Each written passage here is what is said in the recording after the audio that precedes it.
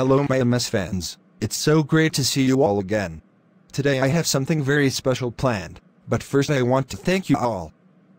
You've sent me so many of your favorite once said lines on Discord, and I'm really happy with your support, you really are the best. And I have to apologize too. I know this video is a little late and I sincerely apologize for that. Sometimes life plays tricks on you, but I am so grateful for your patience and understanding. Now enough talking, let's get started with the video. I'm so excited to share these once said lines with you and see our reactions to them. Let's go.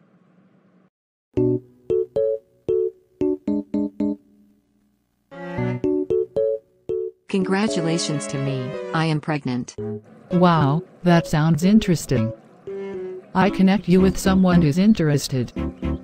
I am pregnant by your husband, Raymond Harrington.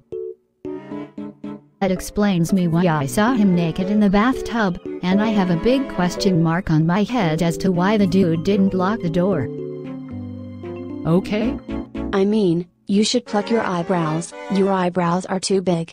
Well, I do that often, but they are grow out so fast. What the fuck is your problem, Calvin? Did you overdose on drugs? I have an idea. Let's take this bitch fight on video and post it on TikTok. Maybe it will get viral. Yes! I will buy with the money we earn new bitches. What the hell is even that? Don't kiss me, bitch. I have a boyfriend, and don't expect me to be your girlfriend, just because you did my job. Piss off, bitch. I don't fucking care, now I want to be a badass bitch, alright? You're adopted, you little bitch. Look, Dad, I could die because of embarrassment. I'm standing in front of the cash register, and I'm just ashamed that I can't buy anything. Goodbye, Haley Linson.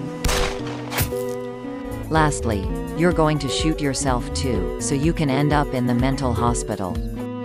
Do you have sweet things? Fuck off now.